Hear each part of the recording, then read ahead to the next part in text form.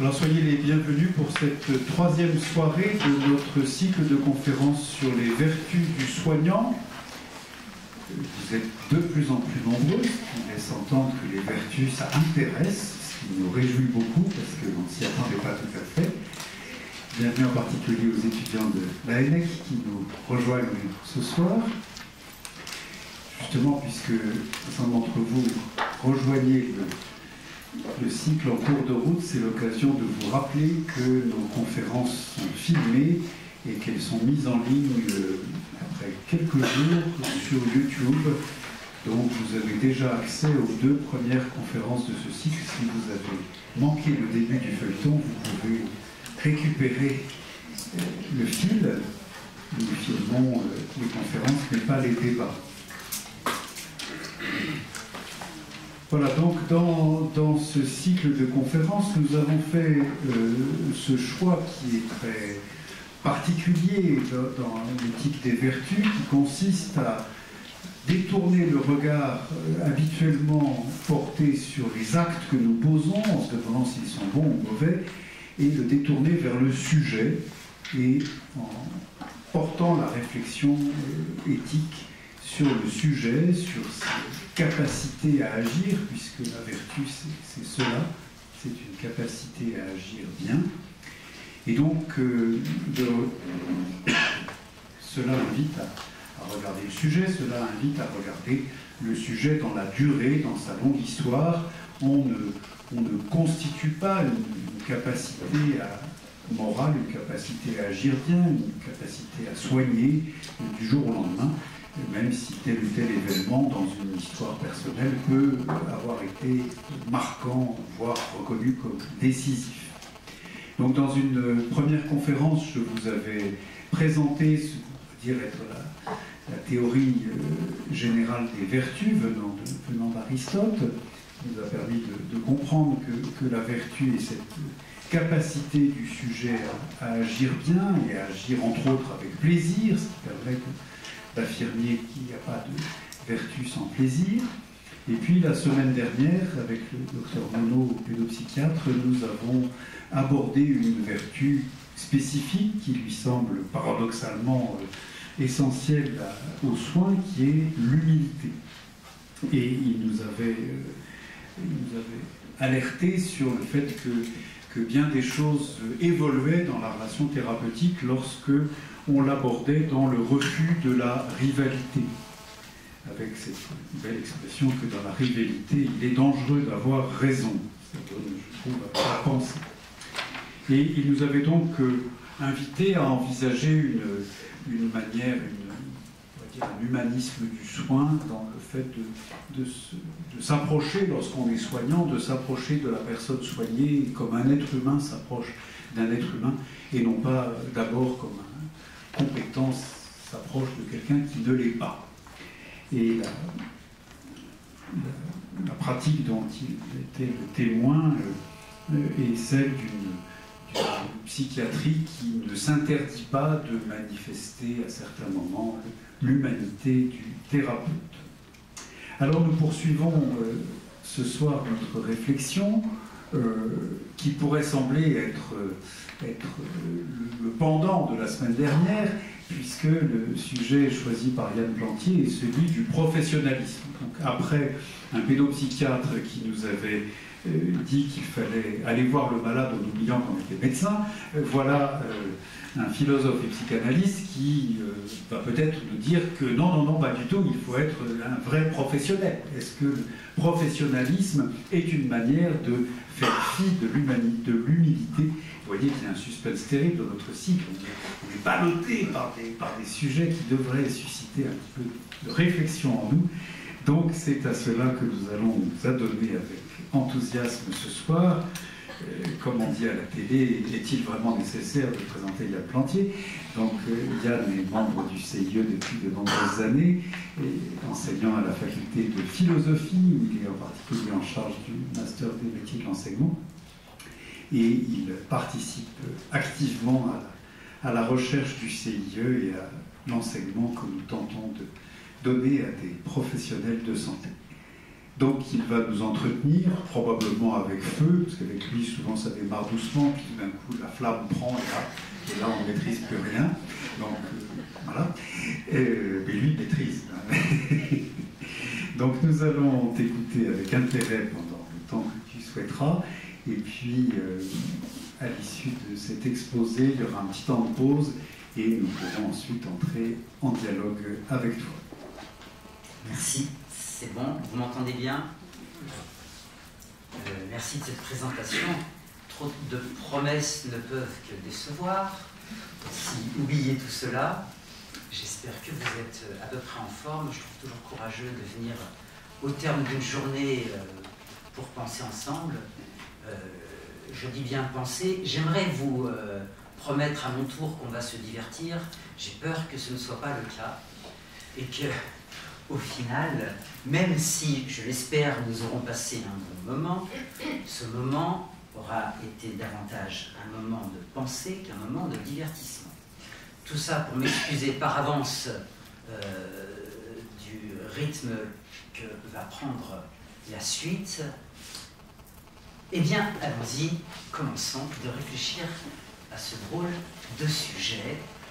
Drôle de sujet inscrit dans un cycle qui, du même coup, euh, lui, comment dire, souligne davantage son originalité. Le professionnalisme est-il une vertu?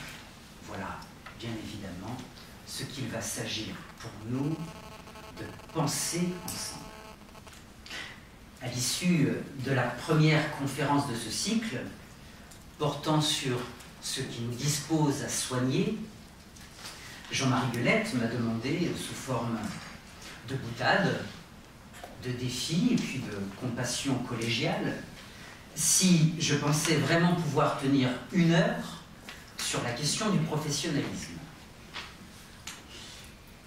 L'homme que je suis, c'est tout à fait reconnu dans cette inquiétude, mais le professionnel que j'espère être s'est senti en devoir de montrer qu'il n'avait pas choisi ce thème à la façon d'un amateur, c'est-à-dire à la façon de quelqu'un qui aurait oublié de s'assurer, par exemple, qu'il y a bien matière à traiter, ou à la façon de quelqu'un qui aurait oublié de s'assurer qu'il a les compétences requises pour mener à bien le travail.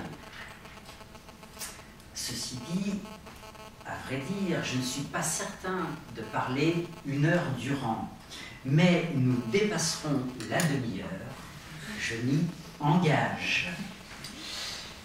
Et je ferai tout pour que personne ici ne se sente floué. Je ferai tout pour que le contrat soit honoré et que notre université ne soit pas mise en doute dans le sérieux qui est le sien. Bref, nous voici conduits d'ores et déjà par la sémantique du professionnalisme et par l'ensemble d'exigences qui le sous-tendent.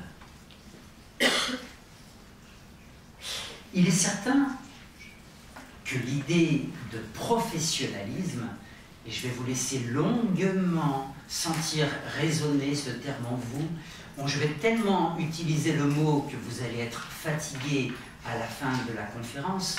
Le fait est qu'il y a peu de synonymes pour la question et que c'est bien de cela dont il s'agit. Donc on va le ruminer, le ressasser, jusqu'à ce que nous ayons fait casser son écorce et qu'il commence à nous parler. Il est donc certain que l'idée de professionnalisme ne se prête pas spontanément à l'enthousiasme moral, et encore moins au lyrisme poétique. L'idée de professionnalisme ne, ne rayonne pas de l'aura qui semble nimber les vertus cardinales. Les vertus cardinales, je vous le rappelle, la force, le courage. Le courage, la justice, la tempérance, la sagesse. Face à cela, le professionnalisme. L'idée de professionnalisme ne suscite ni l'ardeur qui s'échauffe à l'idée du courage, ni la profondeur qui se creuse à l'idée de la sagesse, ni la droiture qui s'établit à l'idée de la justice, ni même la clarté d'attitude qui s'éveille à l'idée de la tempérance. Rien de cela. La notion de professionnalisme ne fait pas entendre la note d'humanité qui résonnait la semaine dernière dans la qualité d'humilité. Elle ne fait pas non plus entendre, elle ne fait pas rêver du trésor de fraternité que semble porter la capacité d'empathie dont nous, dont nous allons parler la semaine prochaine. Rien de cela dans le professionnalisme. De manière commune, le professionnalisme nous laisse plutôt froid, se recommandant lui-même de la distance affective dont il semble faire preuve et qu'il entend solliciter du côté des professionnels. Pourtant, c'est bien en tant que vertu que je souhaite ici envisager le professionnalisme.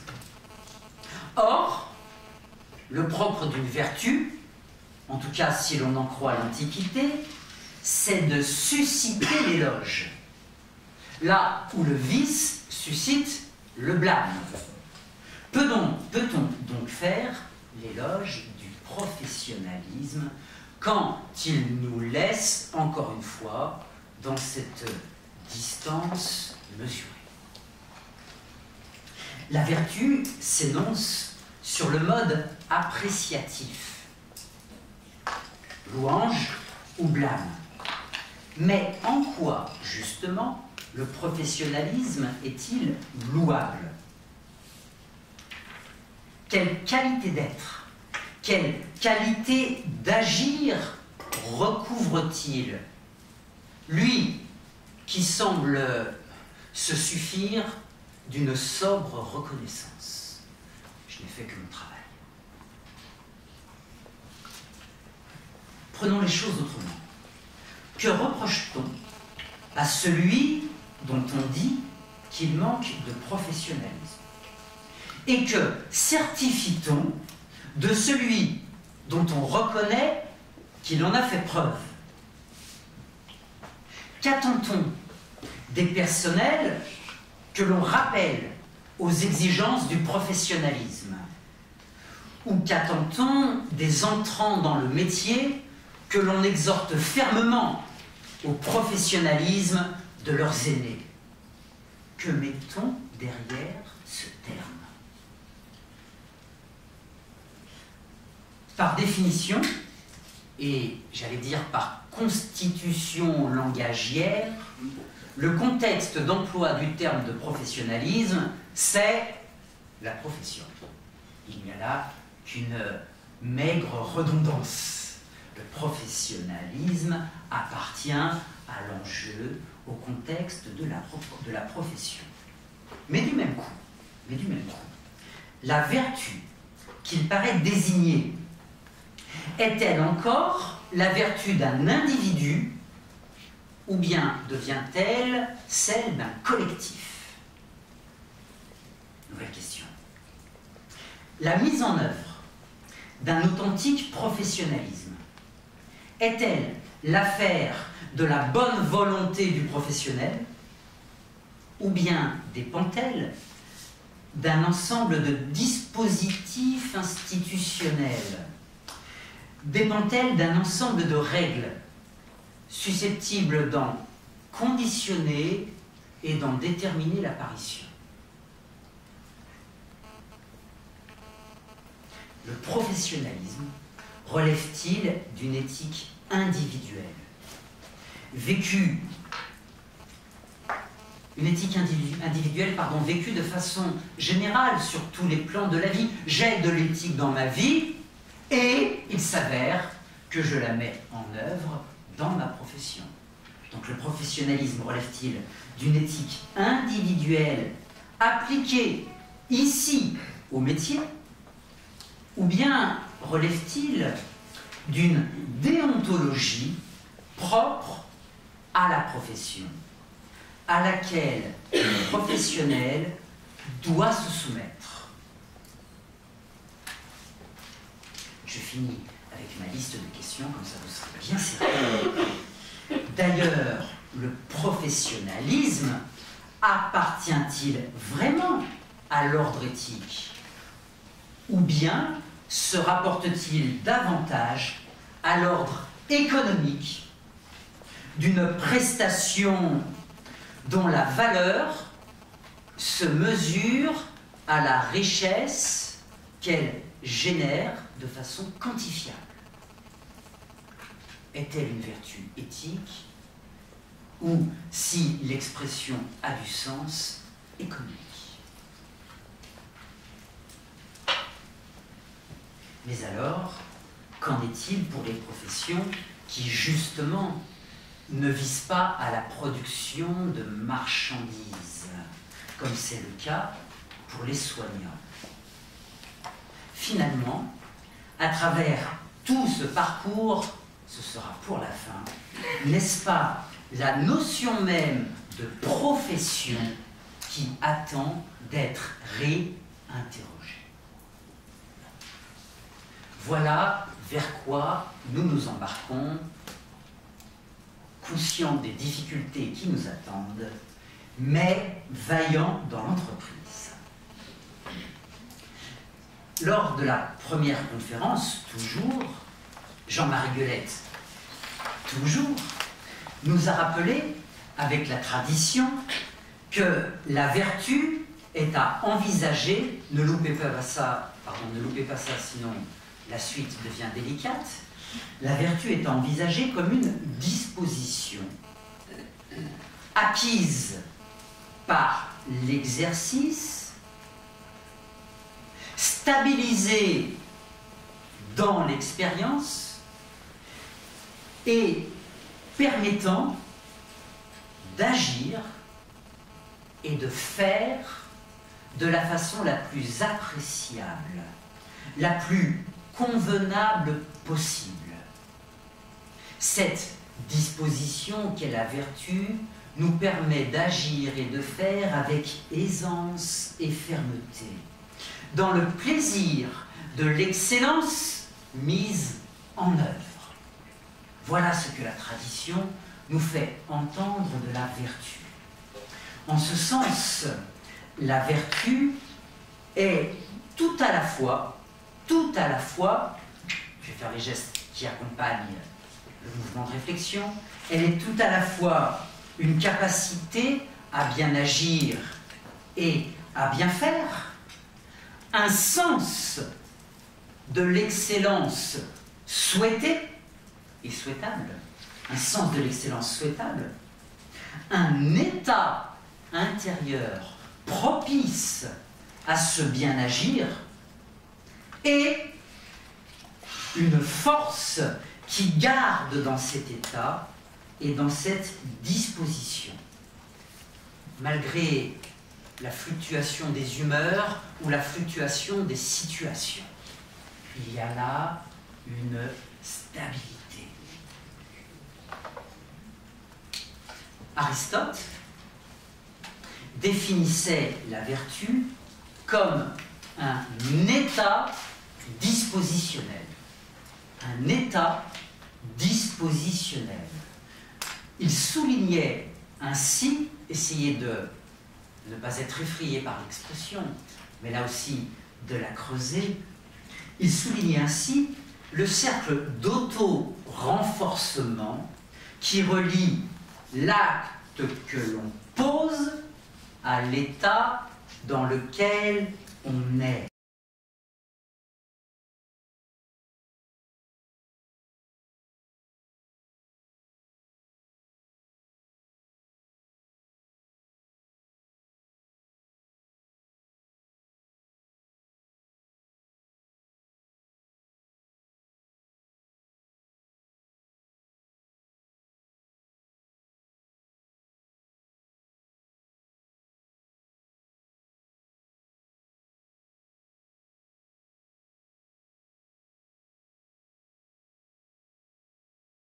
et l'état dans lequel on se tient à l'acte que l'on se prépare à poser.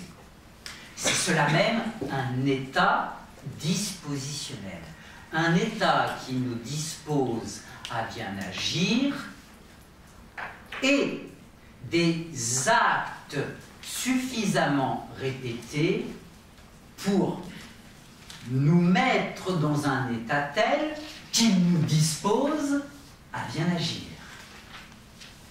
Quand je dis d'un homme qu'il est courageux, je veux dire par là à la fois qu'il a posé des actes courageux, qu'il est dans un état de courage et que du même coup il est disposé à poser de nouveaux actes courageux.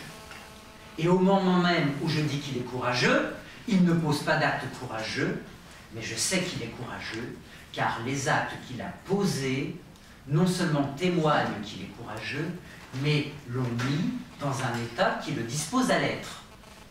Voilà, c'est à peu près clair?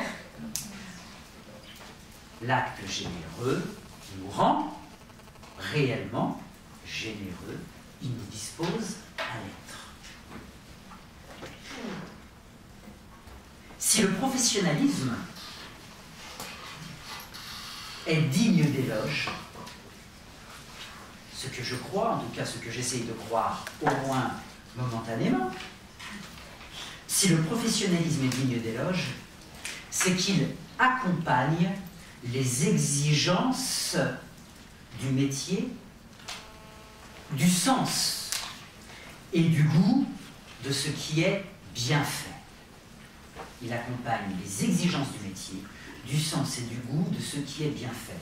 Il les accompagne des aptitudes à bien faire.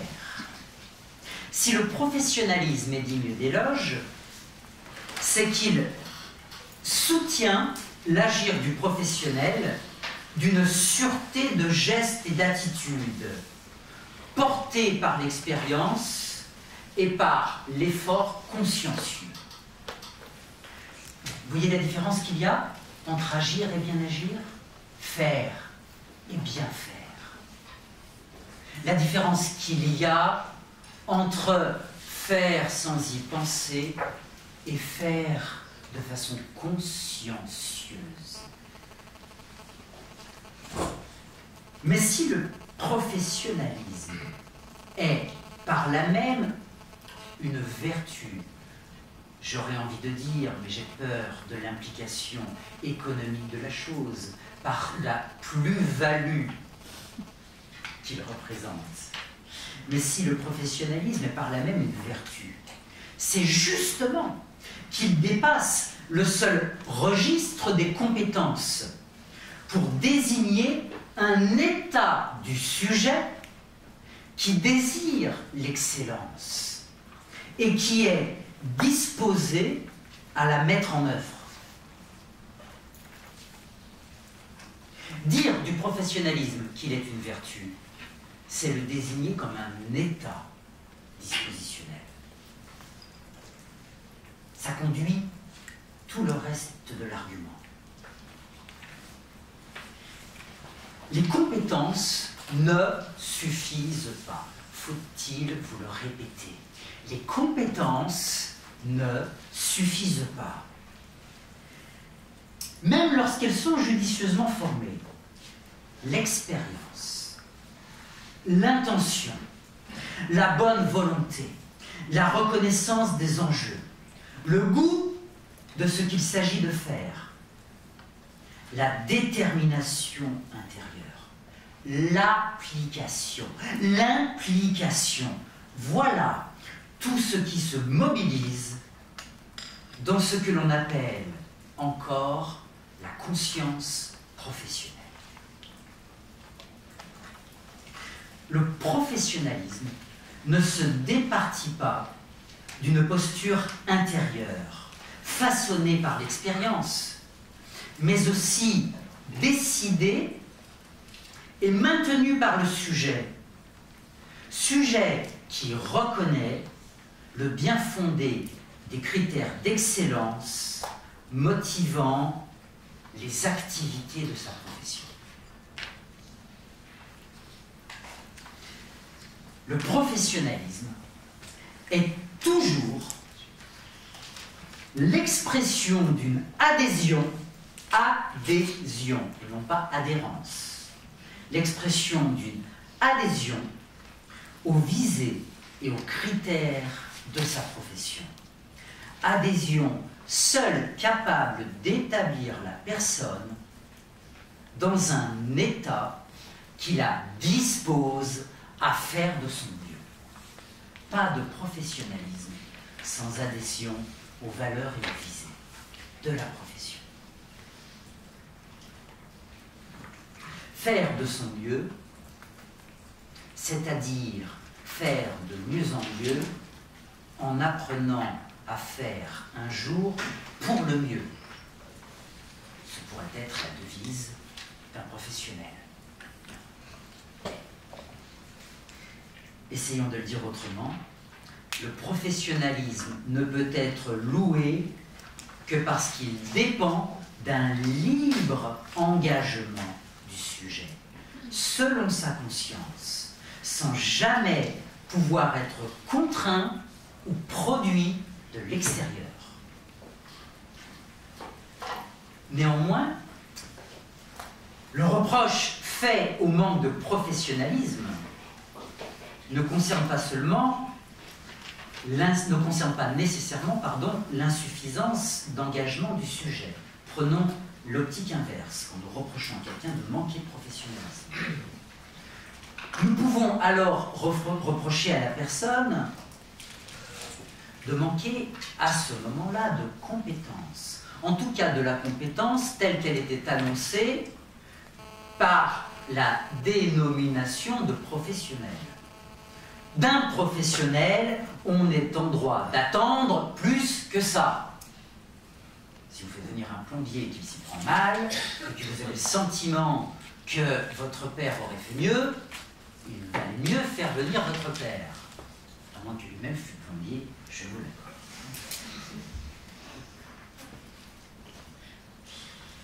L'implication de l'engagement du professionnel ne peut pas se substituer à son manque de compétences. Et s'il fait mal le travail, mais avec beaucoup de conscience, cela n'empêche pas qu'il manque à vos yeux de professionnalisme. La compétence est due. La compétence est due.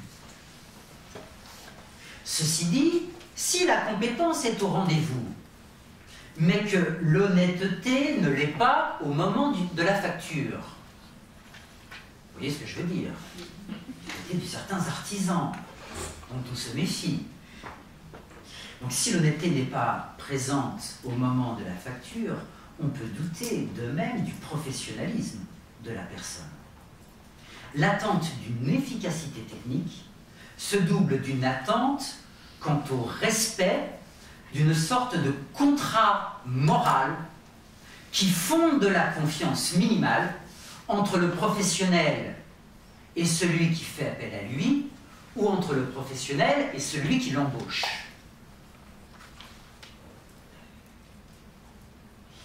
Nous venons de parler de contrat moral.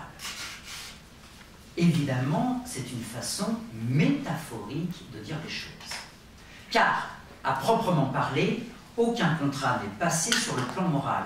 Mais tout porte à penser que l'on est en droit tout de même d'attendre du professionnel des comportements en accord avec les modalités qui fondent les relations humaines dans la confiance on est en droit d'attendre du professionnel l'expression d'un respect,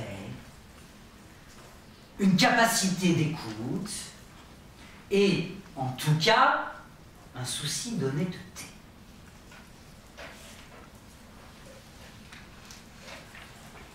On peut même dire que le professionnalisme de quelqu'un se manifeste dans sa manière de mettre en œuvre ces qualités morales que nous venons d'énoncer. Toutefois, l'aspect trop implicite de ces comportements moraux, ce sont des attendus, mais des, attendus, euh, j'allais dire, au final, assez vagues. Toutefois, l'aspect trop implicite de ces comportements moraux peut conduire à tenter, à vouloir les formuler explicitement. Et c'est alors que commence l'élaboration mesurée de règles de déontologie.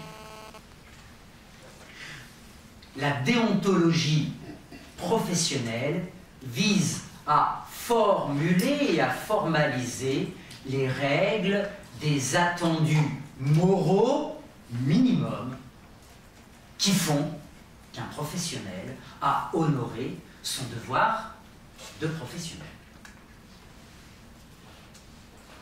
La conviction déontologique, c'est que la formulation de ces règles pourra clarifier la part de ce qui est exigible ou pas de la part d'un professionnel, mais aussi favoriser la conscience du professionnel en lui rappelant l'ensemble de ses devoirs.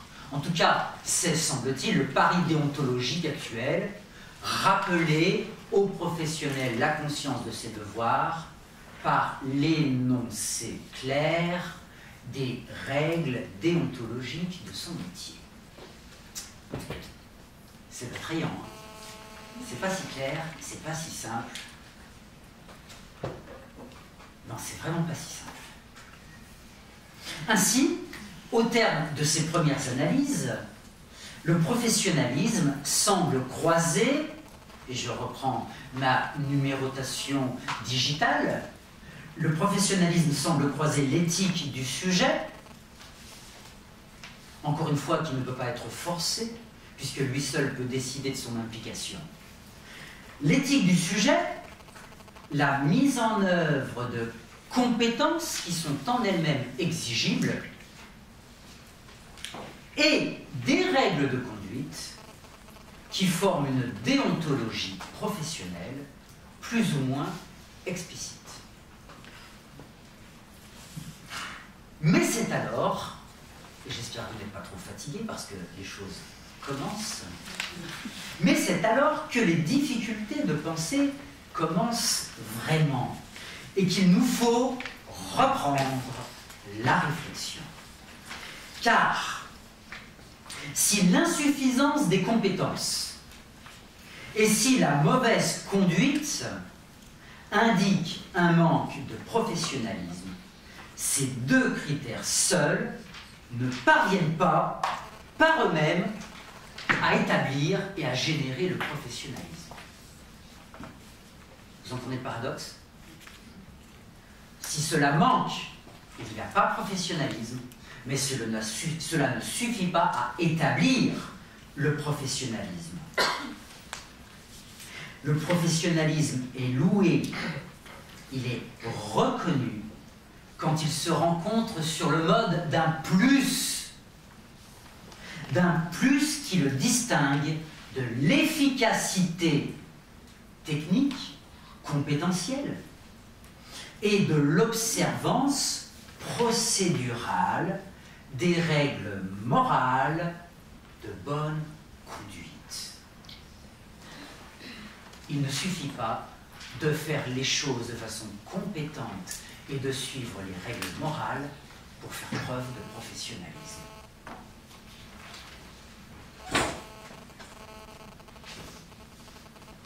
Pour les soignants qui sont ici, vous m'accorderez, je l'espère, volontiers, sinon nous en discuterons après, vous m'accorderez, je l'espère, qu'être bien traitant, par exemple, ce n'est pas cocher tous les items définis par les recommandations de bonne pratique on peut bien satisfaire à ces items, être compétent, cela ne vaut pas encore pour autant comme professionnalisme. Là aussi, c'est fondamental dans l'esprit de, ce qui, de ce qui est à jouer. Donc nous reprenons la réflexion. Et nous insistons. envisager le professionnalisme comme une vertu, c'est, encore une fois, notre pari, c'est le distinguer du seul aspect déontologique, qui pourrait des fois penser imposer du professionnalisme comme un comportement ou un ensemble d'attitudes exigibles et réglées d'après un code et des critères établis. Comme si on allait pouvoir le produire techniquement, ce professionnalisme. Le professionnalisme n'est pas une position de conformité, mais il est une posture mûrie dans la patience. Et que c'est long, et que c'est long de découvrir ce que c'est que le professionnalisme. Le professionnalisme n'est pas produit par la multiplication d'exigences ou à coup d'obligations professionnelles ou à coup de pression, mais il concerne plutôt l'aptitude à endosser avec discernement les attendus professionnels. Il désigne, la capacité longuement et durement acquise à assumer les exigences et la visée d'une profession dont il a reconnu le bien fondé. Assumer les exigences et la visée d'une profession dont il a reconnu le bien fondé. Bref, le professionnalisme ne se décrète pas par un jeu de pouvoir ou par la puissance du droit, mais il apparaît chez celui qui vise l'esprit plus profondément que ne s'affirme la lettre de la loi. C'est une affaire d'état d'esprit, comme on dit. En tout cas, quand cet esprit vise profond et vise juste. Ceci dit, ceci dit, contrebalancement, il n'empêche que cette vertu, le professionnalisme, comme son nom l'indique, n'est jamais séparable de la profession qu'elle entend mettre en œuvre, selon l'excellence souhaitée. Il n'y a pas de professionnalisme sans référence à la profession. Le professionnalisme n'est pas une vertu commune. Vertu commune, j'entends par là une vertu générale qui vous appartiendrait à vous comme à moi, et qui s'appliquerait de façon générale dans la vie. Le courage, par exemple, ou la modération, ce sont des vertus communes. Oui, qu'on peut appliquer de plein de façons. Il y a une façon professionnelle d'être courageux, et il y a un courage différent que l'on met en œuvre quand on est parent, ou quand on est malade ou devant la mort. C'est une vertu commune. Eh bien, le professionnalisme n'est pas une vertu commune qu'il appartiendrait à chaque individu de développer de façon générale pour l'appliquer ensuite à une situation professionnelle. Le professionnalisme ne concerne que la vie professionnelle. Il n'engage, il n'émerge que dans ce contexte. Ça, c'est une drôle d'originalité, une vertu qui n'est lié qu'à un contexte. C'est unique.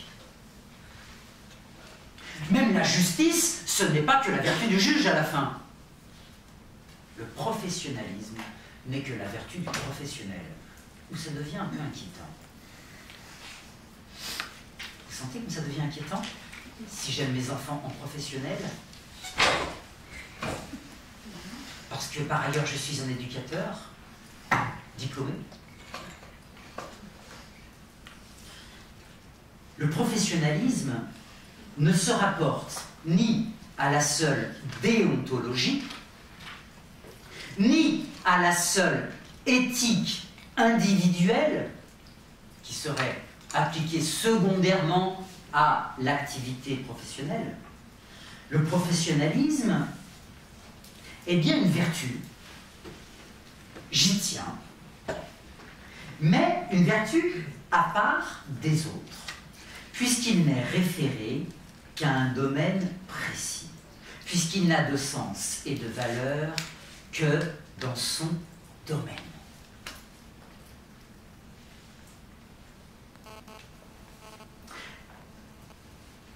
En tant que vertu, le professionnalisme ne renvoie pas seulement à l'objectivité d'une obligation à remplir,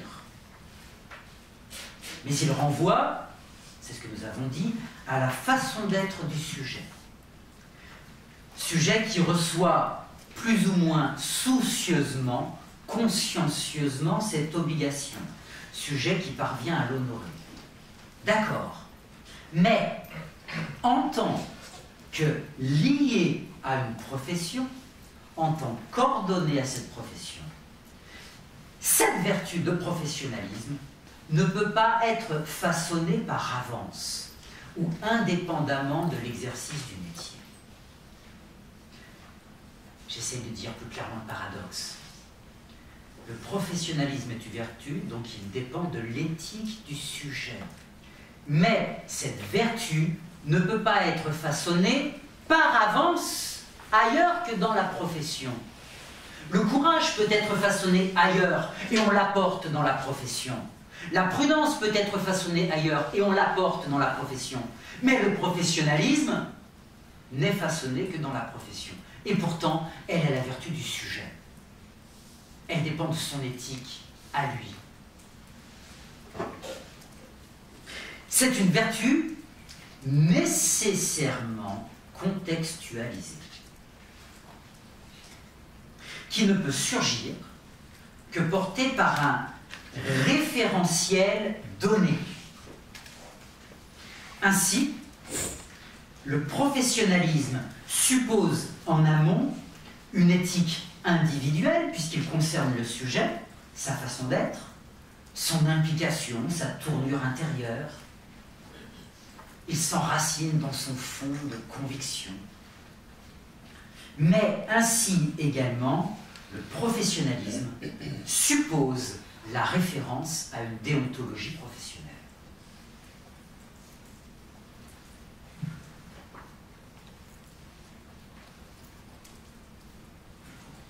Il ne se réduit ni à l'un ni à l'autre, et en même temps, il sollicite l'un et l'autre.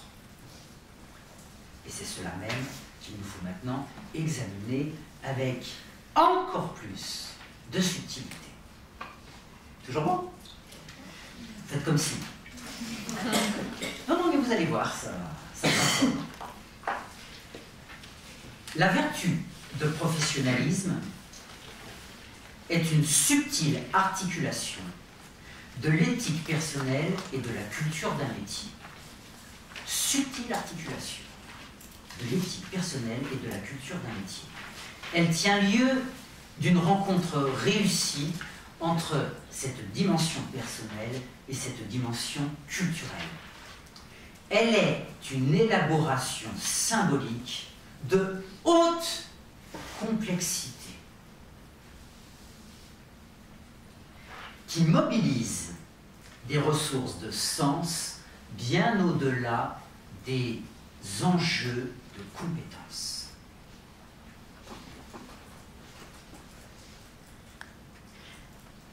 Vous voyez bien que si des compétences nécessaires sont nécessaires pour être un bon professionnel, quand même, je n'apprends rien à personne, si elles sont nécessaires, elles-mêmes elles ne peuvent être formées que progressivement, dans le tramage d'un savoir qu'on apprend à l'école, d'une pratique que l'on découvre dans un stage, d'une application à suivre les procédures, mais aussi et surtout d'une fréquentation de personnes plus expérimentées.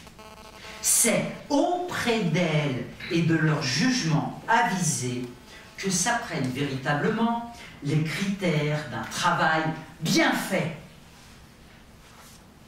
C'est auprès de ces personnes que se donne à sentir l'exigence et l'habileté d'un geste. La justesse et l'autorité d'une attitude bien positionnée. C'est auprès de ces personnes que le métier prend figure et qu'il se manifeste dans son étoffe humaine de façon tellement plus vivante et plus nourrie que les seuls schémas des procédures opératoires. C'est auprès de ces figures-ci que l'on apprend le métier et la posture. Finalement, ce ne sont pas seulement des compétences qui sont à former, mais une façon de voir, une façon de penser, une façon de sentir et une façon d'estimer les enjeux. Un métier ne va pas sans culture. Faut-il à ce point le rappeler? Un métier ne va pas sans culture. Cependant, cependant, l'usage courant nous fait peut-être trop identifier le métier et la profession, en reléguant, me semble-t-il, dans une sorte de passé oublié, le trésor de sens que recèle l'étymologie du terme de profession. Dans son origine médiévale, c'est le seul moment historique de l'histoire, qui durera environ 5 secondes, dans son origine médiévale, la profession, suivez bien, a d'abord désigné la déclaration publique de ses sentiments, de ses idées et de sa foi. La déclaration publique de ses sentiments, de ses idées ou de sa foi. Et c'est dans ce sillage que faire profession a pu signifier attester de son appartenance à une communauté de pensée ou à une communauté d'engagement. Et c'est encore dans ce sillage que la profession en est venue à désigner comme maintenant un corps de métier attaché à une activité. Garder toute la richesse de cette sédimentation et de cette logique de sens. Du point de vue statutaire, on peut certes confondre métier et profession. Quel est ton métier, quelle est ta profession, c'est pareil. Vous vous fatiguez. On peut certes les confondre. Mais du point de vue philosophique, me semble-t-il, et peut-être même sociologique, c'est ce dont on va débattre après, je crois, la profession ne se confond pas tout à fait avec le métier.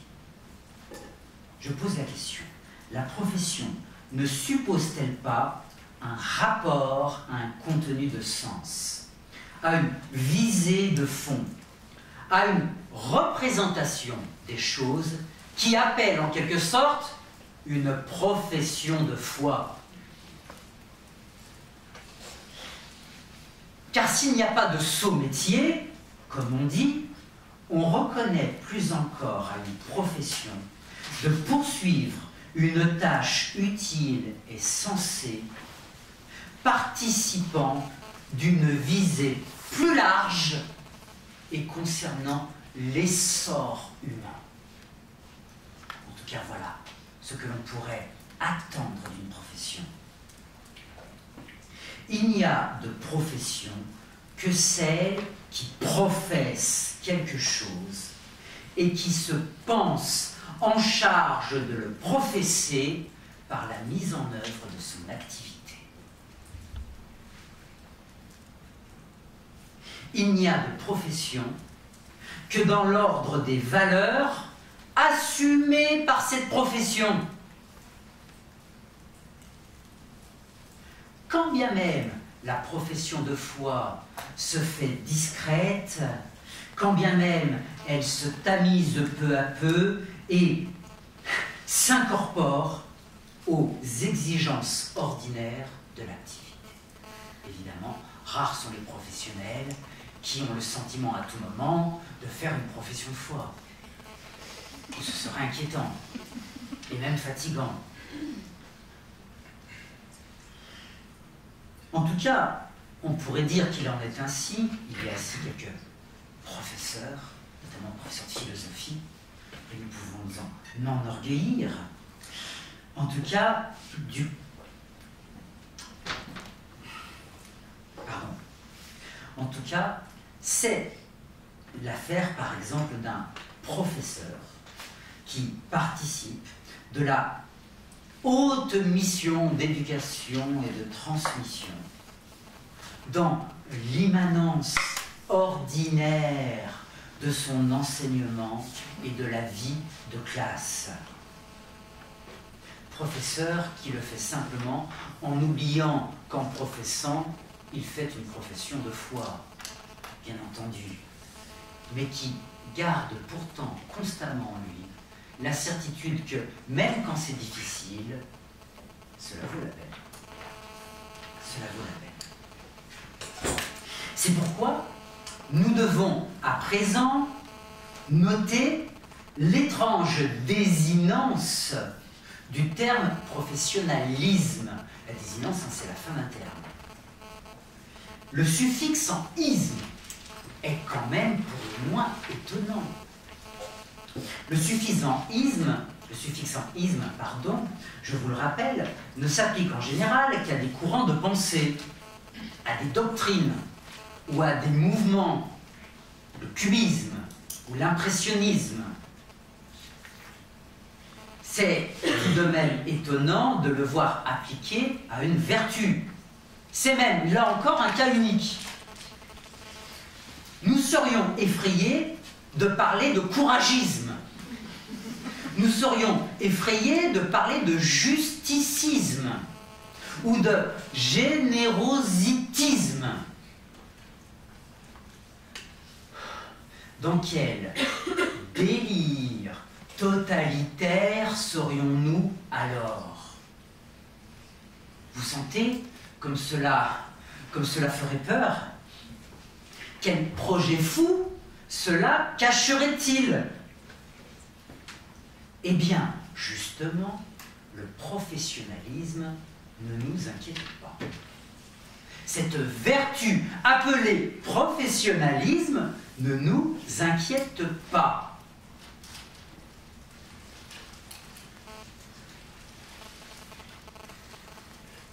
Et même nous pourrions dire que l'idée de professionnalisme dit mieux les choses que si nous usions du terme de professionnalité. Ça existe, hein. c'est rare, mais c'est un, un usage possible, mais qui dit très peu les choses. On attend plus que de la professionnalité. On attend du professionnalisme.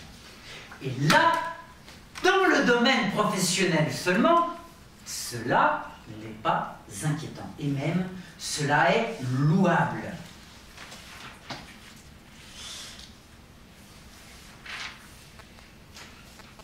Le professionnalisme n'exprime pas seulement, et c'est pour cela, une capacité.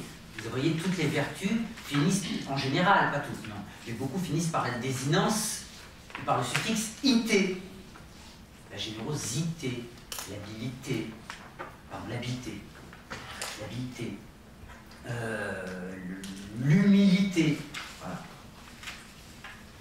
Et cela renvoie du côté de la capacité. Le professionnalisme, lui, n'exprime pas seulement une capacité, mais il exprime un engagement. Et voilà la raison de ce suffixe. Il exprime un engagement reposant sur une adhésion de fond, en conscience aux valeurs, aux principes, aux critères, à la visée qui fonde la profession, qui porte son histoire et qui lui donne sa raison d'être. Le professionnalisme exprime un accordage sincère entre la visée de la personne et la visée de la profession.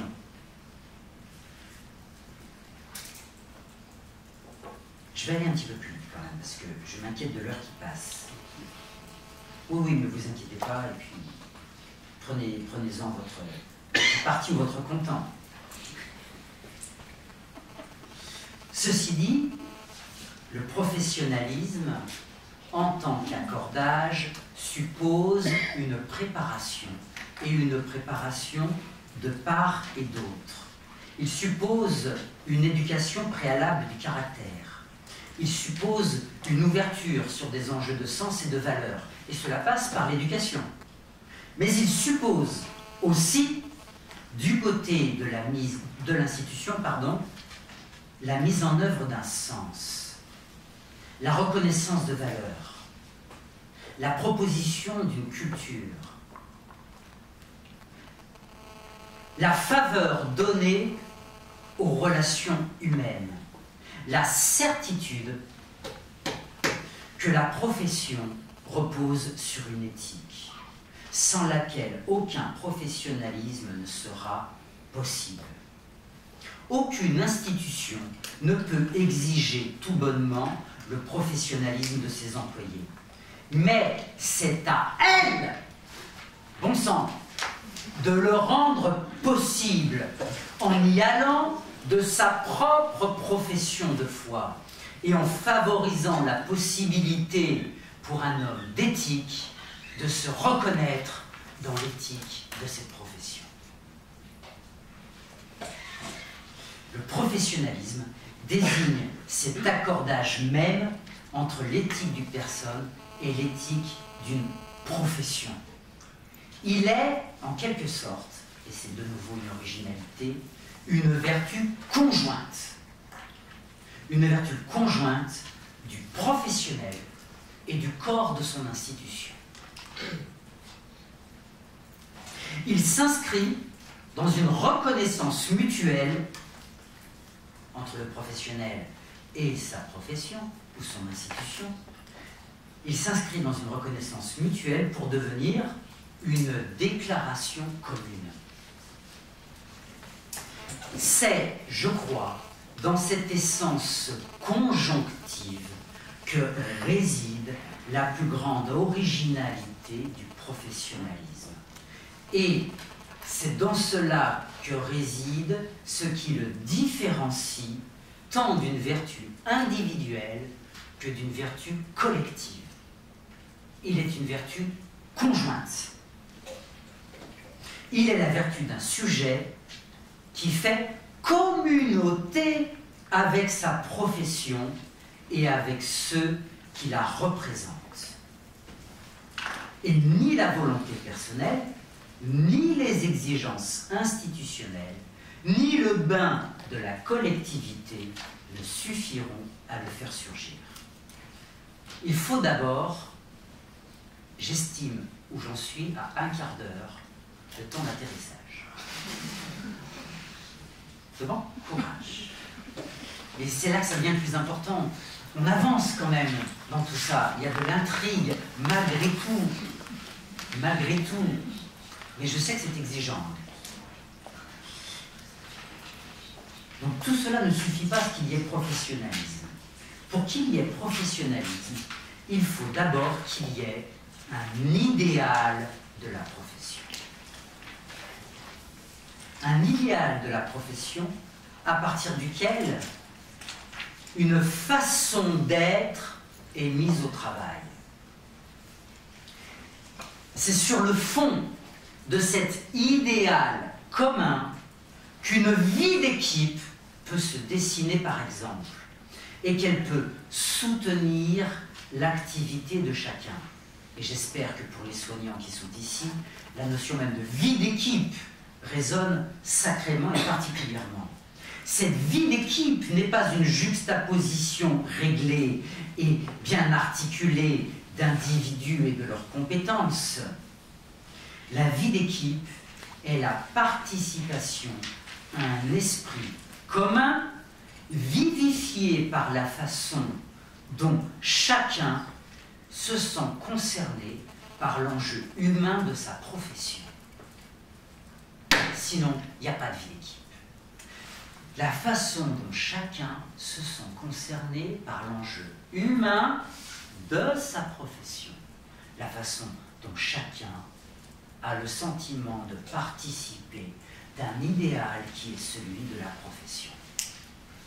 Une vie d'équipe n'est jamais donnée factuellement. Elle n'est jamais produite artificiellement. Elle n'est pas une mécanique et elle ne peut pas naître d'une visée d'optimisation des tâches ou d'une soumission à je ne sais quel manager. La vie d'équipe ne procède pas d'un collectif fort et organisé. Elle procède d'une communauté éthique. D'une communauté éthique telle qu'elle irrigue le professionnalisme de chacun en le motivant. Encore une fois, la vertu de professionnalisme est bien d'ordre symbolique. Le professionnel, cela, ne fait preuve de professionnalisme qu'en endossant de représenter la profession.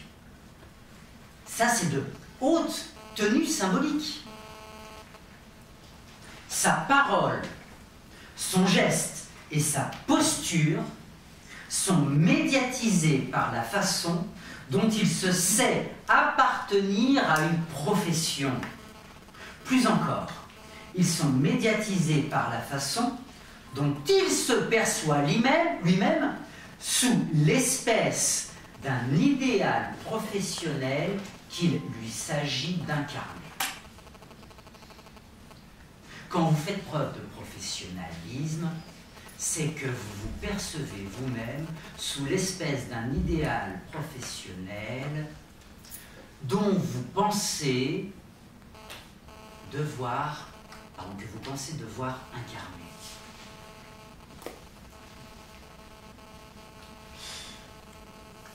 Le professionnel engage plus que lui-même. Il engage l'image et l'honneur d'une profession. Et c'est cela même qu'il assume en se vivant comme professionnel. Le sens de la dignité de sa profession, je dis bien la dignité de la profession, ne cesse de tiercifier le rapport à son activité l'imitation de figures exemplaires. Enfin, vous avez tous en tête, je l'espère, professionnels que vous êtes, des bons professionnels que vous avez rencontrés. L'initiation de figures exemplaires, progressivement intériorisées, ne cesse de remodeler, ou plutôt de modeler, sa propre attitude.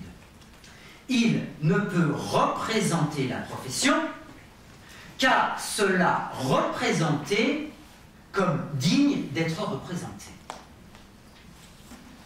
Et ce ne sont pas des jeux de formules. je veux bien reprendre. Il ne peut représenter la profession qu'à cela représenter comme digne d'être représenté. Et qu'à se penser lui-même, je parle du professionnel, comme gagnant en estime de soi en pensant être un bon professionnel au service d'une bonne profession. Vous voyez tous ces relais symboliques? Il me semble que c'est seulement selon cet éclairage que l'on peut comprendre l'association d'idées courantes entre le professionnalisme et la distance affective. Là aussi, nouvelle énigme. Professionnalisme, distance affective. On comprend mal ça. On est à côté de la plaque la plupart du temps. Ce n'est pas, comme on croit bêtement, qu'un professionnel doit se départir et se méfier de ses ressentis. Quelle tarte à la crème Il ne s'agit pas pour le professionnel de se méfier de ses émotions et de ses jugements. C'est pas ça. C'est plutôt que le professionnel doit apprendre à élaborer ses ressentis et ses jugements selon une perspective différente en les rapportant à l'instance médiatrice de sa profession. C'est pas tout à fait pareil. Il rapporte ce qu'il sent et ce qu'il juge à l'instance médiatrice de sa profession. Et ce qu'il pense et sans alors est comme élaboré intérieurement par l'idée qu'il a de sa profession et de ce que c'est qu'être un professionnel.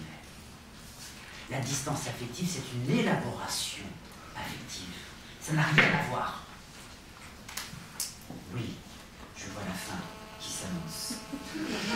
Le professionnalisme signifie ce tiers interne, ce tiers interne, dont le sujet a reconnu qu'en tramant son identité personnelle, il lui permet d'élaborer son identité propre. C'est trop compliqué ça. Le professionnalisme, c'est la force du tiers interne. Et c'est la force de la confiance que nous faisons en ce tiers interne. Ce tiers interne, encore une fois, c'est l'idéal de la profession médiatisé par une culture, par un langage, par des figures, par des normes et par des cadres suffisamment parlés et fondés pour être intériorisés. Or, c'est long, tout cela. Je finis doucement. Je finis, promis. Du même coup, nous sommes renvoyés, maintenant, et il est temps, réglons-lui un peu son compte, nous sommes renvoyés du côté des exigences qui incombent à la profession et à l'institution. En tout cas, si elle souhaite générer la force et la justesse d'un tel professionnalisme. Il appartient à la profession de déployer la richesse symbolique qui est la sienne et qui lui vaut justement d'être une profession. Il me semble que c'est cette dimension symbolique et éthique qui actuellement manque terriblement aux professions elles-mêmes. Certaines professions, comme celle des soignants, vivent encore sur un fond patiemment enrichi de génération en génération, mais sans que l'on prenne souci de cette ressource qui constitue pourtant l'essence de cette profession. La puissance symbolique d'une profession ne peut pas se pérenniser dans une sorte de pure inertie. Si on ne se ressource pas aux sources éthiques et symboliques de la profession, elle cède une profession et il n'y a plus de professionnalisme envisageable. Enfin, de qui se moque-t-on De qui se moque-t-on? À quel jeu de dupes jouons-nous? Quand on prétend masquer l'indigence de sens et de valeur sous la rhétorique des bonnes pratiques Incroyable quand même quand on prétend masquer cette intelligence par une prétendue certification de qualité. Eh bien, allons-y. Quand on affiche une charte dans le hall de l'institution, mais que l'on morcelle une posture en une série d'actes tarifiables.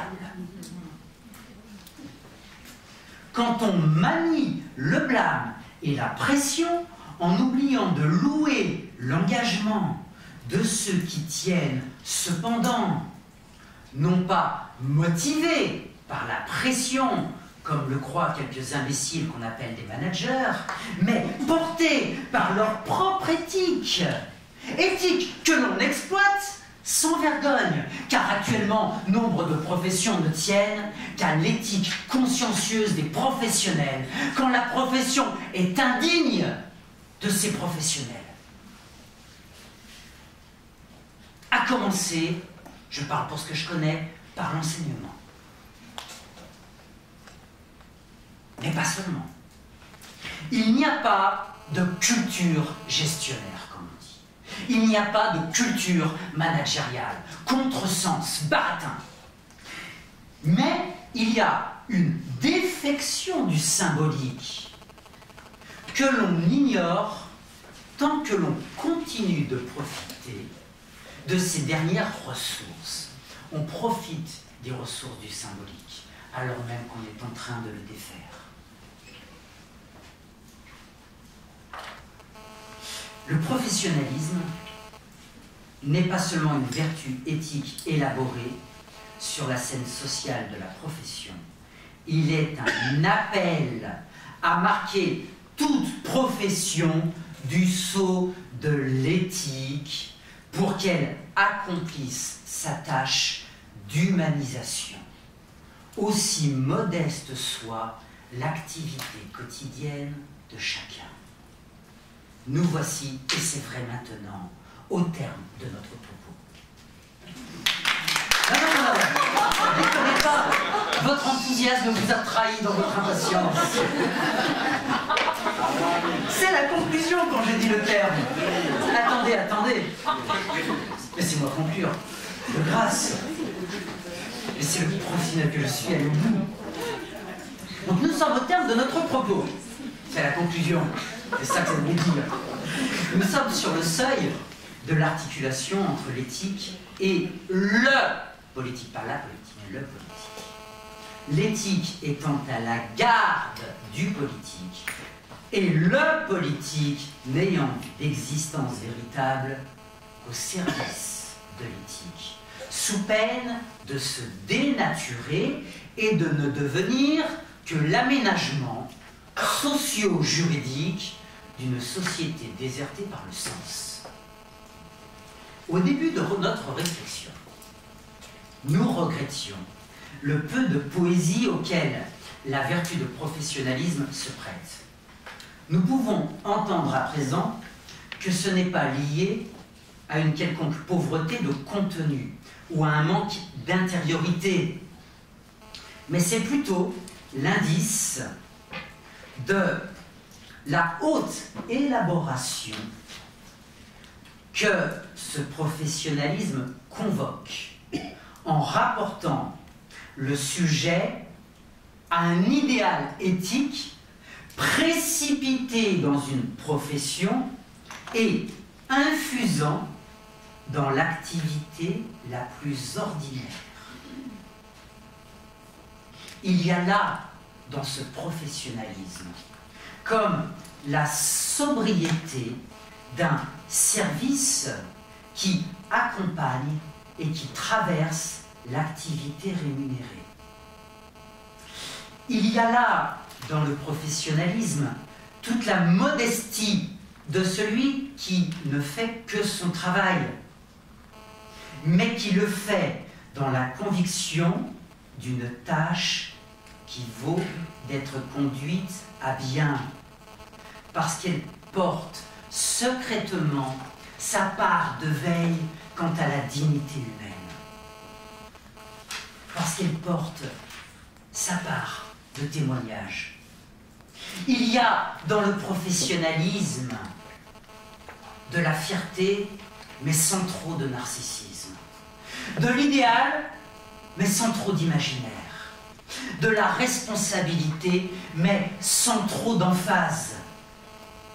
Il y a aussi dans le professionnalisme la façon dont une profession confère une existence publique au sujet en le reconnaissant comme son représentant. Parler et agir au nom de la profession que l'on représente.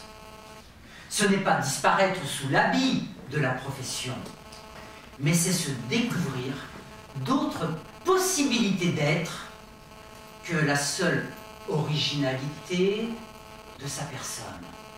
C'est une chance que de pouvoir être un professionnel. Cette forme de la vie éthique, cette force de l'agir professionnel ne sont possibles cependant que sous la puissance de sens et de valeur que l'activité soulève avec elle et dont elle se recommande, elle. Cette puissance symbolique dépend avant toute chose de la profondeur que la profession met en œuvre. Et c'est alors seulement qu'elle peut communiquer une portance qui, intériorisée, devient le professionnalisme. Au final, le professionnalisme, c'est la vertu d'un professionnel qui porte fièrement sa profession. Mais cela n'est possible que si la profession, de son côté, s'enorgueillit et ose s'enorgueillir de compter dans son sein de tels professionnels en le leur faisant savoir. Ce ne sont pas tant les sujets qui sont en mal, de professionnalisme. J'avoue que j'en ai marre d'entendre ça. Ce ne sont pas les sujets qui sont en mal de professionnalisme. Ce sont les professions qui sont en mal d'être vraiment des professions et qui ont besoin d'être reconduites vers leur profession de foi première. Que croit-elle de l'homme? Que porte-t-elle de la tâche humaine? Je pense à ce vers si magnifique du poète Saint-Jean Perse. Fierté de l'homme en marche sous sa charge d'humanité. Fierté de l'homme en marche. En marche dans sa foulée de chaque jour, dans son pas à pas quotidien, dans sa besogne ordinaire, dans son souci de ce qui est à bien faire.